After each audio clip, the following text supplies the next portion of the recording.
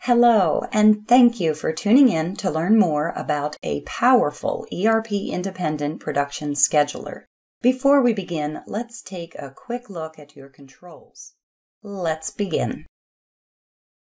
As you know, every manufacturing company, large or small, has a production plan, some sort of a schedule that lists all the orders to be fulfilled, that functions as a roadmap for the plant managers and workers.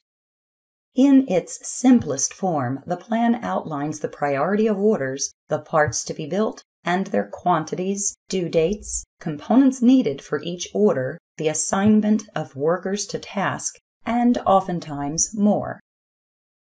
To ensure due dates are met, the production plan must be viable and 100% executable by the operations team.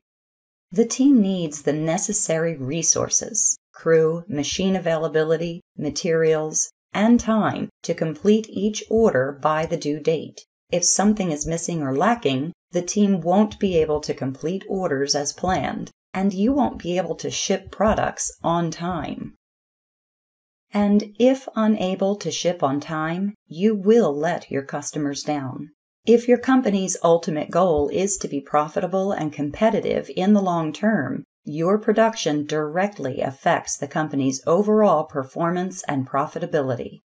To compete in today's market, you must use your resources wisely, have a workable plan, and understand market conditions.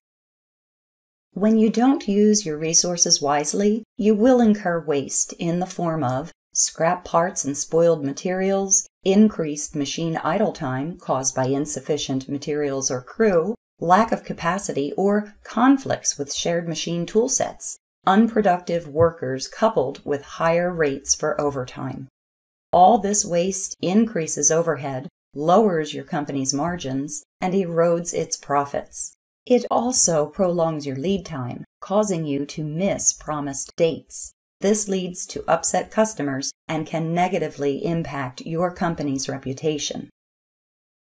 Building an optimal production plan has always been a difficult task. It can be markedly difficult for small to medium manufacturers. Today's supply chain disruptions, limited resources, labor force issues, constant market demand fluctuations, inflation, and other new challenges brought on by pandemics and the consequences of geopolitics make it even more challenging.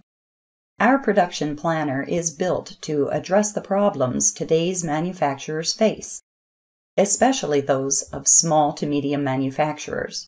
It helps you see the problems in your schedule so you can react quickly to find solutions which gives you the flexibility to accommodate a last minute customer demand that would have been hard or impossible to do previously. It also enables you to maintain your company's reputation by building achievable production plans that allow you to ship to your customers on time, every time. Flexible operations means reliability plus greater profit. With our production planner, you'll be able to react quickly to constantly changing customer needs. For example, what if you had an important customer suddenly require a larger quantity of a product in a shorter time frame than you ever anticipated? Our production planner's ability to create what if simulations can help you easily handle this situation perhaps placing orders with less critical time demands on hold and reallocating the materials towards urgent priority orders will solve your problem. Or, let's say your supplier alerts you that a shipment has been delayed for an order that is scheduled to be produced before the materials will now arrive. You can create what if scenarios to best change your production schedule to accommodate the late shipment without skipping a beat. By running these simulations, you can ensure the alternative scenarios are achievable and that you have sufficient materials, labor force, and production capacity. You can finalize and release the schedule once you are satisfied with your what if simulation. What if simulations can be performed as often as needed, enabling you to stay flexible and responsive to market fluctuations and remain a reliable and trustworthy vendor. Is an Enterprise Resource Planning or ERP system necessary for building viable production plans? Not at all. Depending on the need, some manufacturers use packaged ERP systems such as Oracle, QAD, SAP, Microsoft, etc. Each is a sound system with solid functionality, but they can fall short when building a viable 100% executable production plan. Other manufacturing companies use homegrown systems, and some don't use an ERP system at all. Our production planner is designed to work with any ERP system, even with your homegrown. The production planner solution makes your ERP system more robust as a production planning tool. But if you don't have a system, our production planner will function as an affordable mini ERP system with full production planning capability. Let's take a look at how it works. As we see, Production Planner has an easy to use Microsoft Excel interface that will minimize training time. There is a range of fields on the top left with the search criteria used for the download option. And there are action buttons. Then there is a data area starting from row 20. To use the tool, we must have a valid user ID and password defined in the Production Planner database.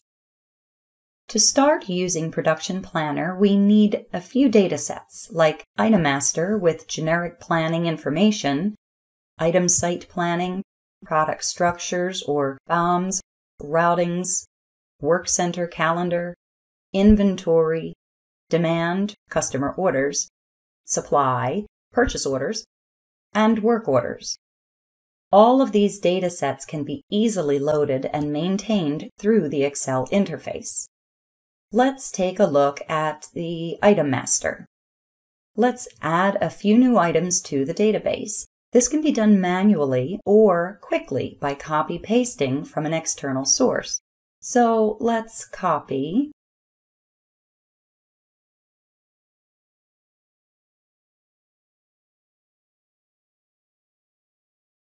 then click Upload,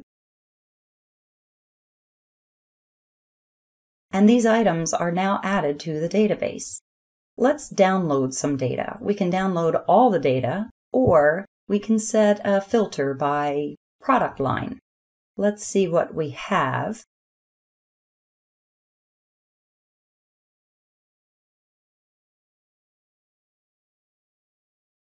We can see the new items we just added. We can then modify some attributes like the purchased manufactured flag or pretty much any of the data beneath green headers. Let's edit. And then we can upload. And we can download to check our changes. Other datasets can be maintained the same way. Let's go to the Work Orders tab. Again, here we can download existing orders and then update them from this tab. We can download all or filter by site or work order range. We can see the order number column, item number, start date, due date, quantity ordered, completed, and rejected. There is a sequence field used to prioritize orders. The hold field is used if you need to place an order on hold and release its materials towards other work orders. We can modify dates, quantities, Again, pretty much any data with a green header. And we can add new orders. Let's change a few.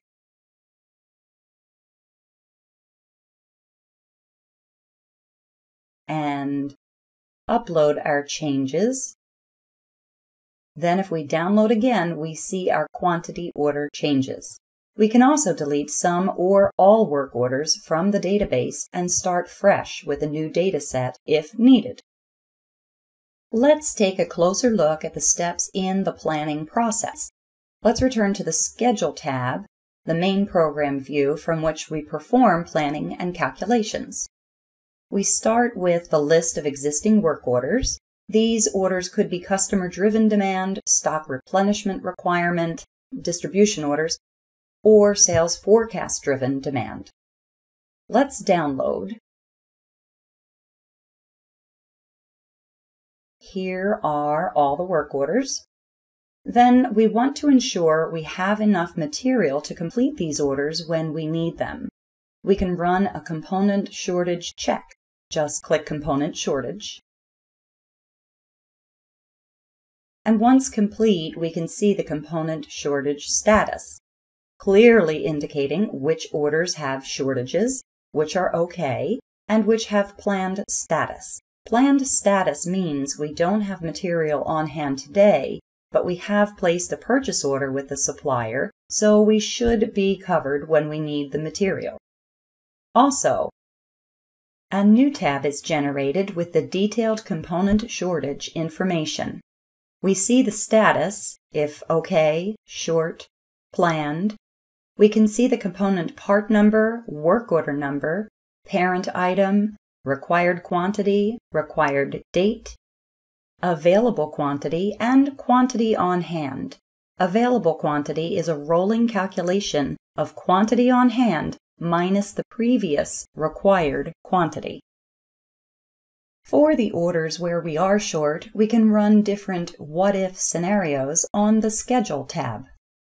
If the order with a component shortage is a priority, let's say this one, we can place less important orders on hold, like this one.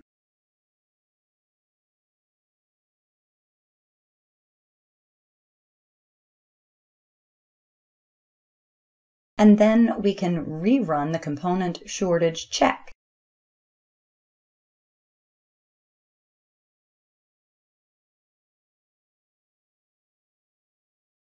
Now we don't see these orders listed as short because one is on hold, which gives us enough material for the other. Let's download again and take a look at another scenario. We can split an order into multiple orders. So let's split this one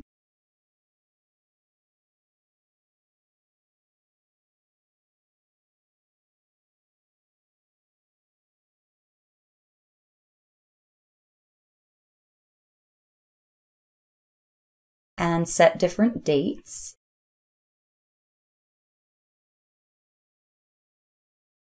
We can also set them as a higher priority by setting the sequence and then run another component check.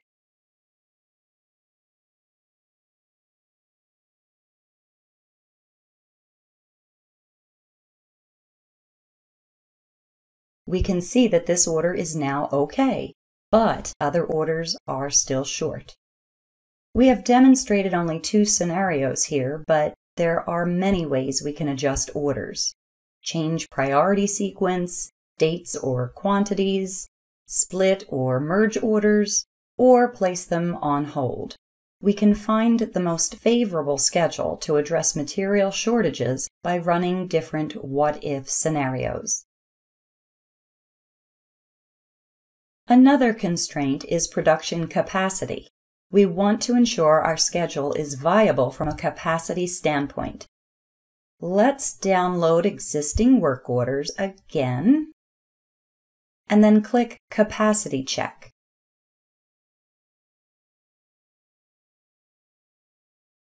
We can see capacity check status in column X. In addition, the program generates a detailed capacity report. We can see by work center machine and by day if we have enough capacity or where we run short. Similarly, we can update orders and run what if scenarios in the Schedule tab to make sure the schedule is viable from a capacity standpoint. Once we finalize the schedule, we can build a graphical view Let's click Graph.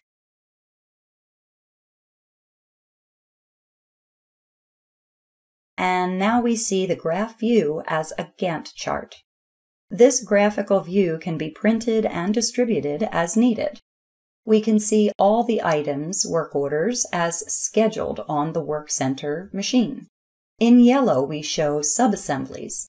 In green, we show finished goods or final assemblies. With slightly different colors, we can see when the machine runs out of capacity, like here or here. If we hover the mouse over the cell, we can see more details about the work order, such as operation, due date, runtime, and remaining capacity on the machine.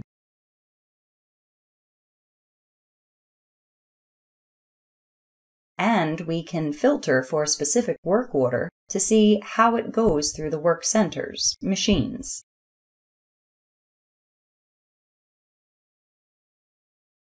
This was just a quick overview to show how powerful a support tool our production planner is. We are happy to provide a demonstration for your organization where we can better discuss any company specific challenges or nuances. With our production planner, you can maintain master data such as item master, BOM, routing, etc., accurately maintain and track orders, run what if scenarios, build a 100% viable schedule that works, and generate a purchase plan for the materials. Users will love the easy to use Excel interface. They will adopt quickly with minimum training time required a centralized, reliable database, which means many people can use the production planner simultaneously to maintain business information and perform production planning. The seamless integration with any ERP system, commercial or homegrown. And a valuable, affordable mini ERP system if you don't have an ERP. With our production planner, you'll have the peace of mind that you can build a 100% viable and executable plan for production success. You know you'll be able to complete each order by its due date, even in the face of customer or supplier surprises. You'll increase your profitability and overall performance because you are using your resources wisely and meeting your customers' needs. And you'll keep your well earned reputation as a reliable vendor by maintaining a robust, flexible, and scalable planning process. If you have any questions, feel free to reach out to us directly at any time. I do hope you enjoyed the convenience of this on demand webinar session. And again, I thank you for tuning in and for your interest in our monthly webinars. Have a great day. We hope to see you again soon.